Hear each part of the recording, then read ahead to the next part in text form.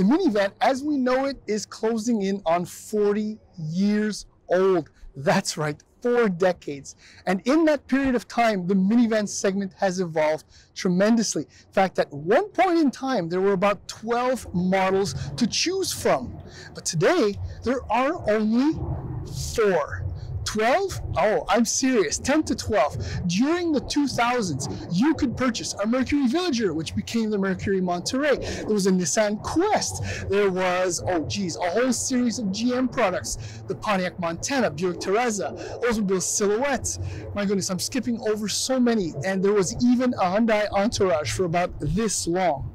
Now, as you can see behind me, we have all four brand new minivans, so that means there's a comparison test coming your way.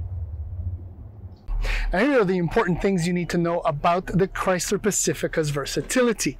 Now, when the third row is up and in place, you have about 919 liters of trunk space, which is the lowest amount, but still very much in the average. When the third row is stowed, it is smack in the middle of the average as far as, volume is concerned. You're looking at about 2,500 liters, which is huge. Now, it does have a power operated third row, and it is the only minivan to offer that. That can be very useful if you use it ever. For some families with only two children, pointless. If you have three kids, it can be very useful. If you are a soccer mom or dad, then it can be a blessing. Now, as we walk around to the inside,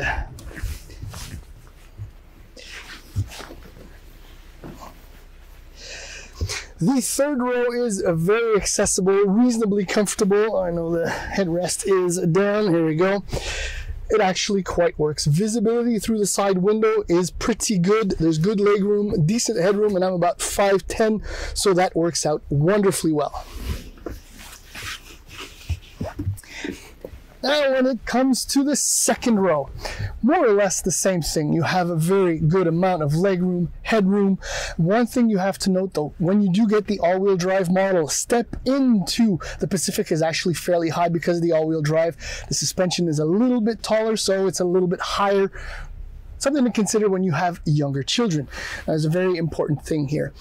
Chrysler Pacificas, Chrysler minivans are known for their stow and go seating. However, when you have the captain seats, because of the configuration, they do not fold into the floor, but you still have access to this pretty great storage.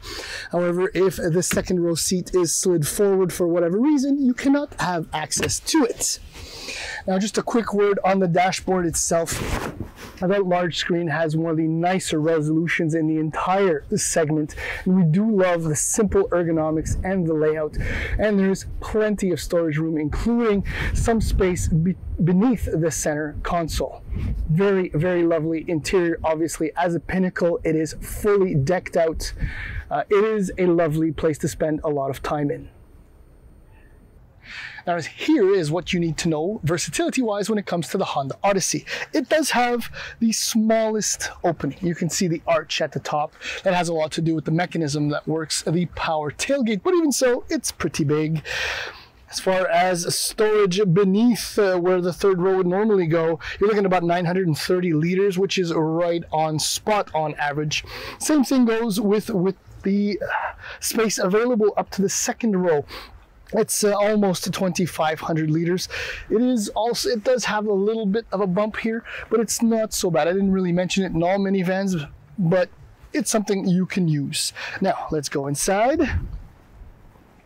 Getting to the third row is a little bit trickier in this van only because we did not remove the central portion of the second row. But it's kind of easy to get back here even for a fat old guy like me. Again, the headroom, not bad actually. It's pretty much average. Visibility, when this is not up, it's actually one of the larger side windows, so visibility is good for kids. Good leg room, nice setup back here. It's actually comfortable. The seats are really plush. All right, so we're gonna move to the second row. That makes it a little bit more complicated. I'm going to put this back down. It can obviously be useful. There's no captain seat setup in the Odyssey per se, but this definitely works as an armrest, obviously with cup holders, or as a backup plan, I got this. Here it is. You can always have someone else sitting there. Now, unlike the Carnival and the Sienna, you cannot move the second row fore and aft, but if you do remove the central portion of the seat here, you can slide and create a smaller bench that's about all there is to say here. Uh, step in height is fairly low in the Odyssey, which is lovely for younger kids. Now, if we slide forward and take a look at the dashboard quickly, it's a very different layout from most other minivans. It's totally Honda. The graphic display in the screen there is kind of oldish, reminds me a little bit of uh, what you get in the Sienna. It's nowhere near as good as what you get in the Pacifica and the Carnival. Uh, as far as space is concerned, there's tons of storage. I mean, if you don't have, you know, a console, a floating console, well, you still have access to a lot of space down there. You have your wireless charge pad right here. This is a very deep bin. Everything works out quite well. In fact, um, the layout is pretty good. It's very Honda. I guess that's the best way to put it, which is never a bad thing. All right, so here's what you need to know about the 22 Kia Carnival as far as versatility is concerned. This one by far has the widest, tallest, most square cutout. Literally, I can't imagine anything not fitting in this opening, which can be very, very useful if you like to carry, well, large and tall items. Okay, so behind the third row. This is the most capacious of the bunch at about 1140 liters of space. It's huge. Behind the second row, unfortunately, I don't have the exact number, but I'm very convinced that it is actually somewhere in the average of about 2,500 liters of space. There's another thing too that's important about uh, the Carnival is that the load floor is perfectly flat, whereas the other three have something of a little hump where the third row hinges are probably laid out. Let's go inside.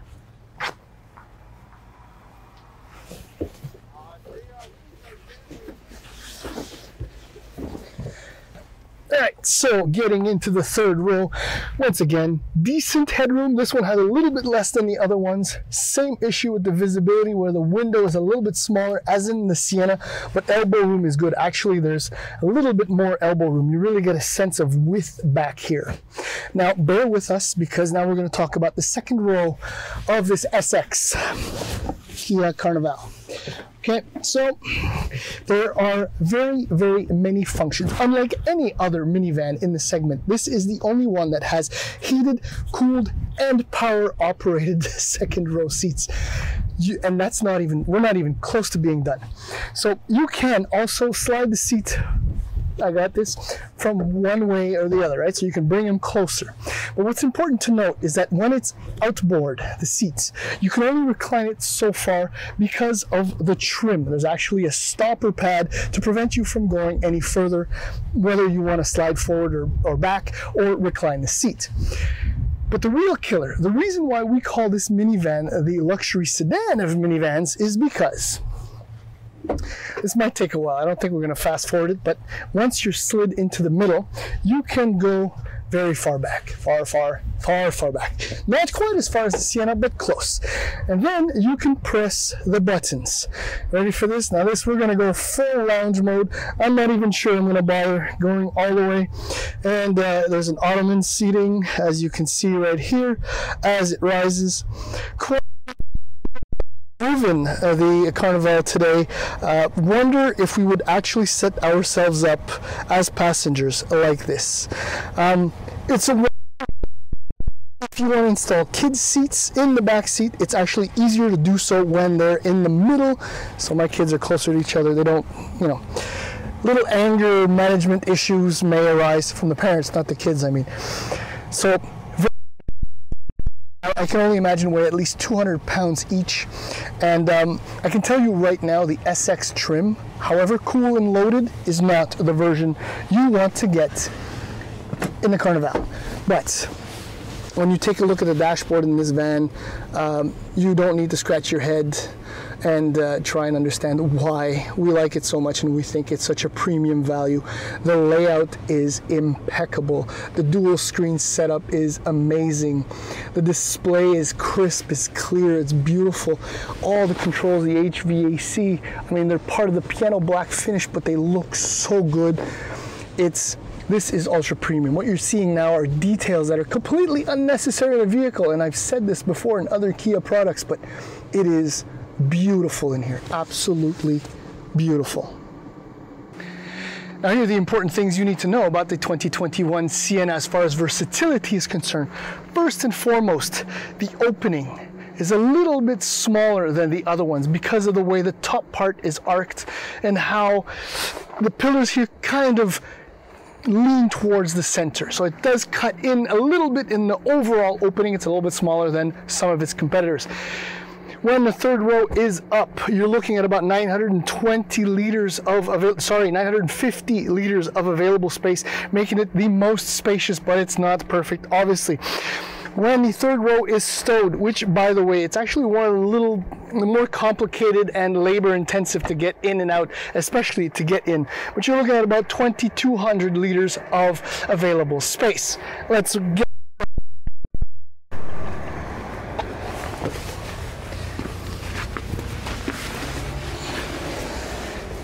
In the third row, same scenario where you have a fair amount of headroom. Elbow room is good, however, the side windows are a little bit smaller.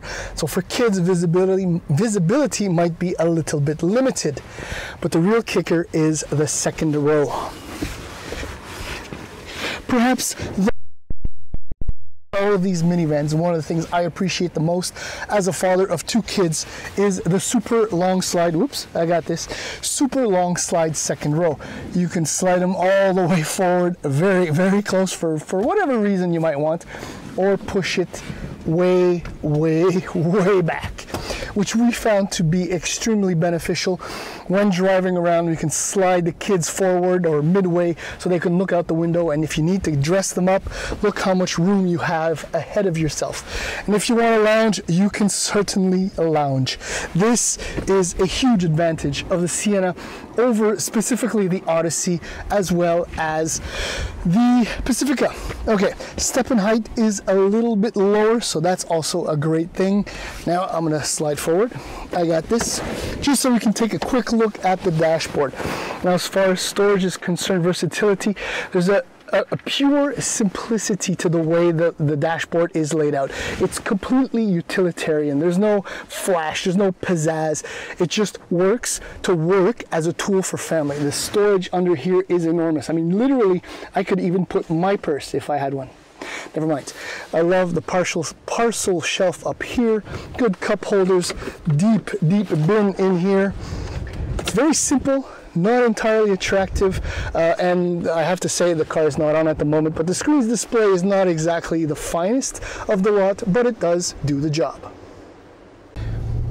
There is an immediate noticeable difference the moment you set off in the Chrysler Pacifica and that's weight, girth, substance. It is, in fact, the heaviest minivan in the segment, but with all-wheel drive, Pinnacle all-wheel drive, right?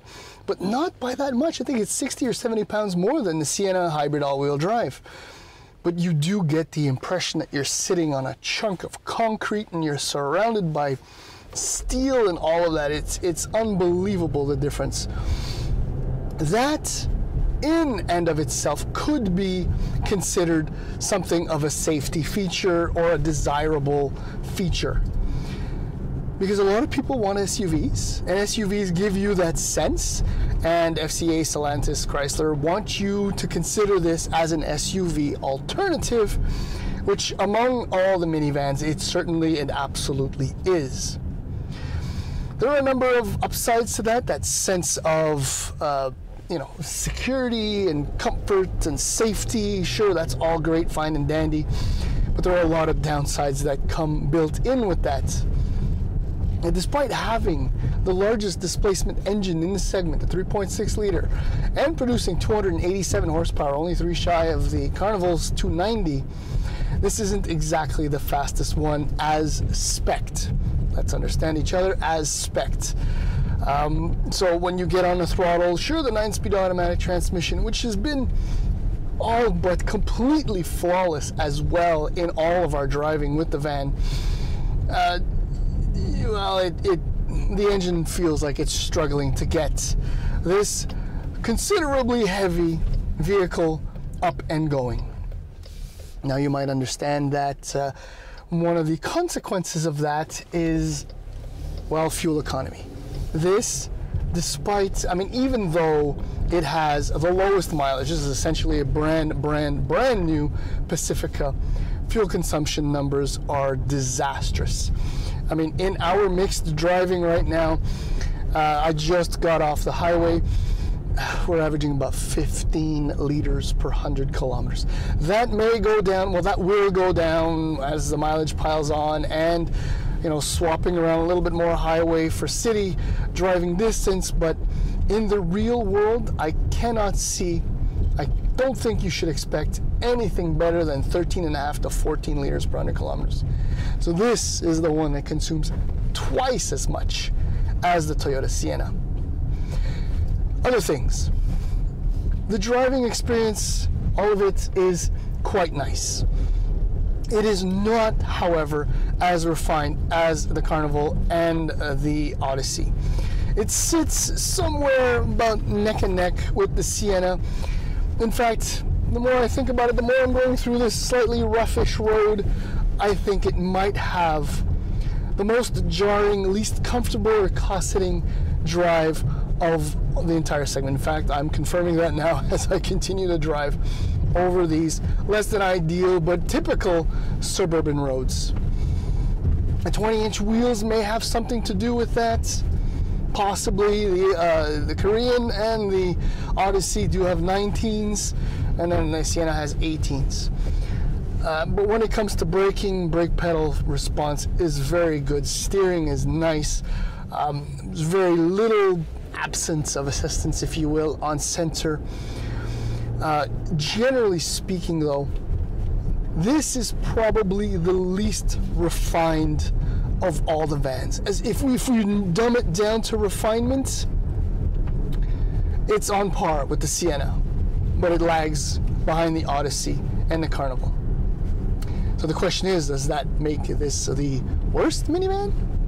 We shall soon find out. Now driving the Honda Odyssey is, well, it's like, it's comforting. It's like coming home. The Odyssey has been, for at least the last two decades, a staple in the minivan segment. One by which all others are measured. We're not talking volume here, right? We're simply talking about packaging, refinement, driving experience. And that is still true today. I mean, the ride quality is excellent. It's not entirely as cosseting as the Kia Carnival. It's very close to uh, the Sienna. It's nicer than the Pacifica. Uh, what it is is alive for a minivan, right? Again, minivan comparison. It's nimble, it feels agile. It also weighs a few hundred pounds less than the others. So you can immediate feel like or feel that in the controls. It drives like a Honda, which is huge because this is still the driver's minivan. No matter how good the Carnival is, how com- comfortable it is, or how I don't know, imposing the Pacifica might be or efficient the Sienna might be, this is still the driver's minivan. I mean, the damping is a little bit dry, maybe lacking on the comfort, you know, but because it's lighter, more agile, nimbler, a little bit sportier, that is easily forgiven and essentially forgotten too. Uh, steering is very nice, uh, brakes feel good. And then there's the 3.5 liter V6 and a 10 speed automatic transmission, which, like in the Kia, are, are a marriage made in heaven as far as transmission and engines are concerned. The V6 produces 280 horsepower, the third weakest, or what I should say, the second weakest, or third least powerful, I don't know, in the segment, but it feels like it's so much more than that because of its responsiveness. I mean, look, it's no small wonder why this engine powers Acura products, including the NSX and a 10 speed too. And all the driving that I've done with this Odyssey has never once skipped a beat. It glides, it'll power through upshifts, it'll drop a bunch of gears to give you more power. It's really, really wonderful.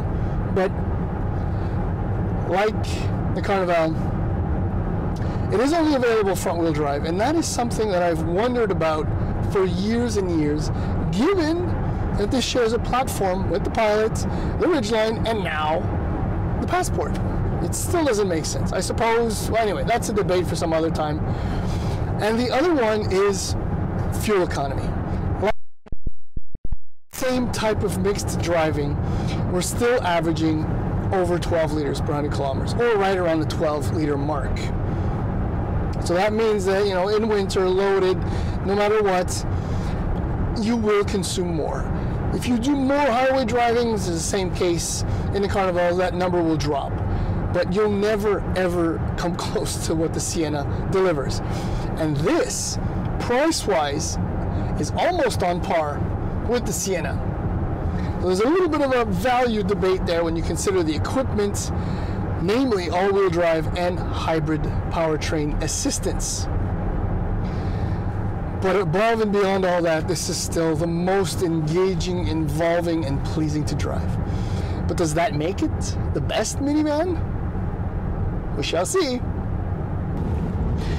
Now, driving the Kia Carnival, Carnival, it's up to you, I guess, um, is absolutely, it's surprising but, but I say that, and at the same time, I understand and know that it should not be surprising.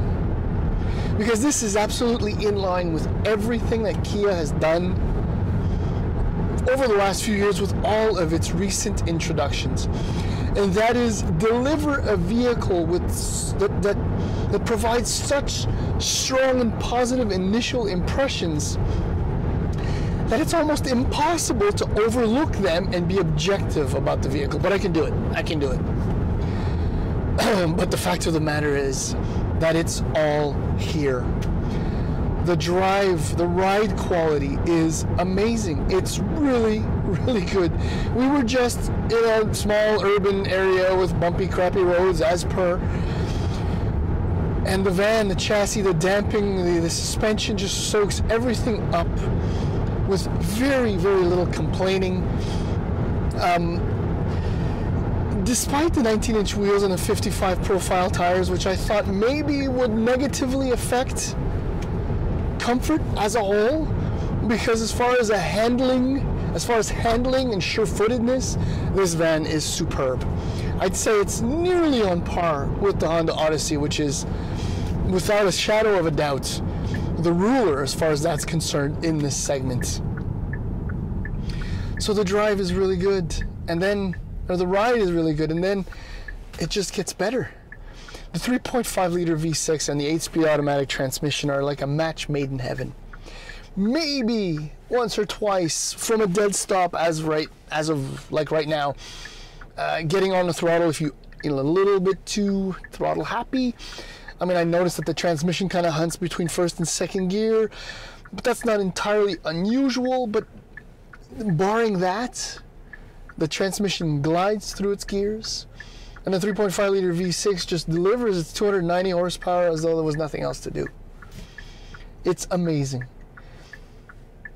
The downsides, however, the downsides, however, as you notice, I just got off the highway. There was a little bit more wind noise than I would have liked.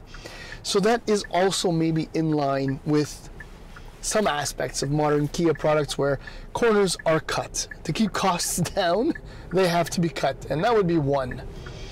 Uh, they didn't cut the, you know, as far as the chassis and the powertrain is concerned. Uh, but the downsides are, well, it's only available front wheel drive. And for many northern US and Canadian markets, that is a big no no. So that's a downside.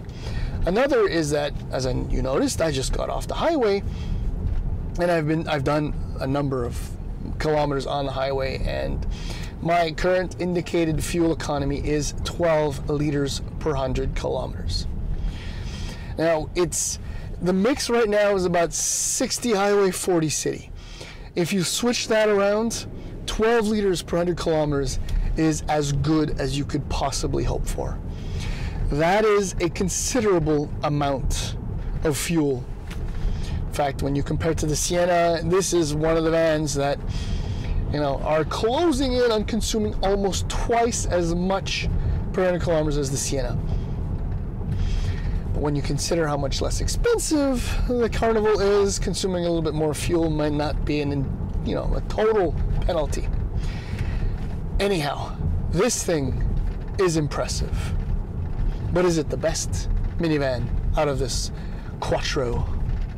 We shall see. So driving the Sienna is a question of dealing with mixed blessings.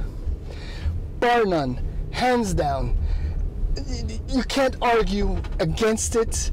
This is the most fuel efficient minivan of them all, and it's even more fuel efficient than a number of wannabe three row midsize SUVs.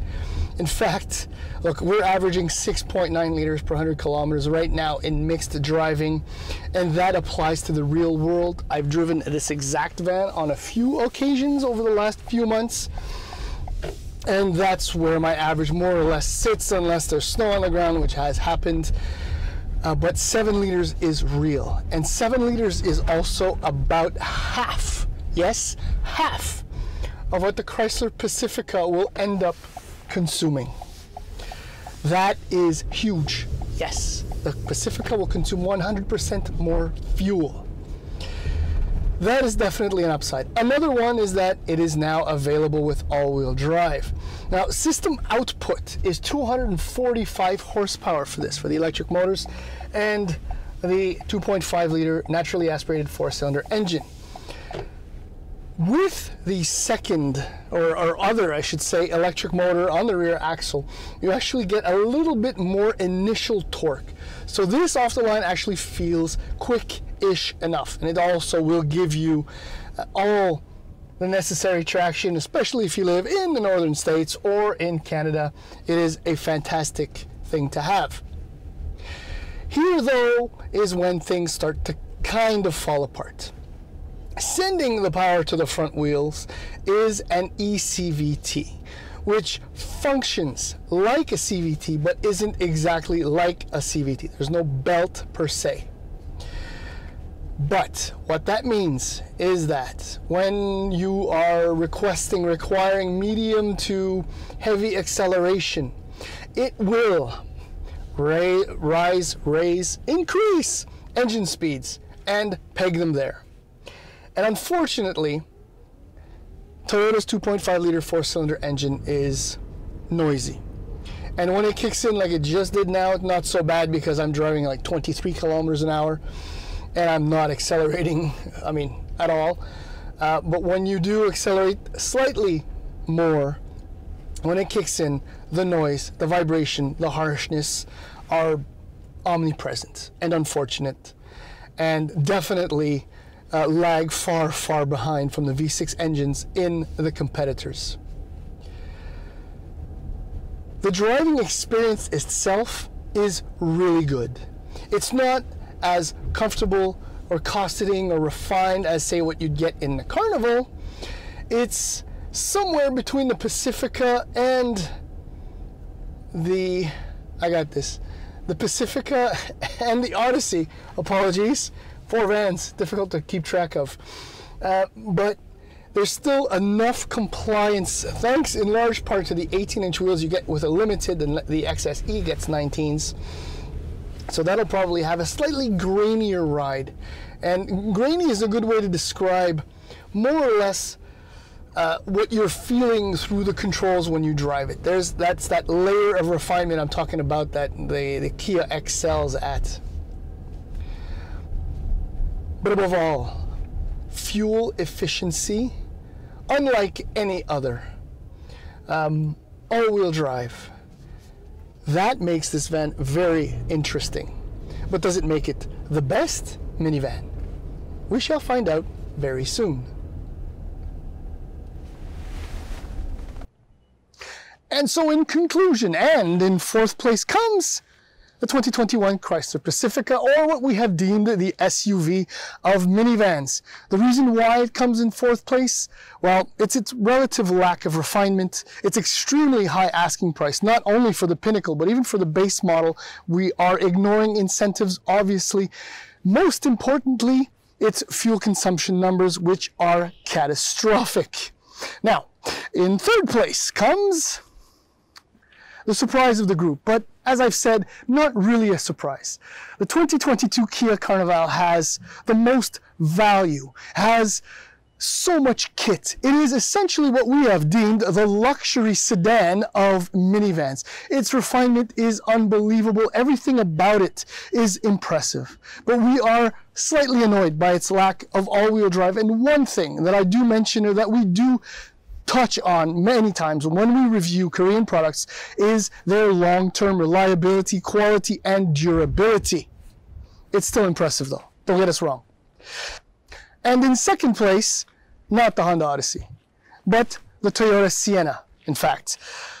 The funny thing though with the Toyota Sienna is that at least half of us that have driven the vans today would actually choose this one over the Odyssey, if mostly for the fact that it is available with all-wheel drive, is extremely fuel efficient.